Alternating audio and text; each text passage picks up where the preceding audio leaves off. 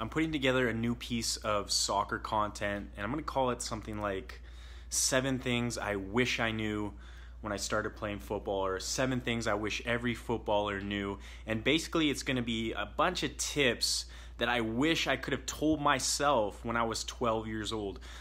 But I want to ask you do you have anything that you would add to that list specifically? It could be something about how to train, it could be maybe like a mentality tip, it could be about navigating soccer politics. Is there anything you wish you could tell yourself when you were 12 years old? If so, comment below or send me a direct message, let me know, and maybe I'll add it to the list.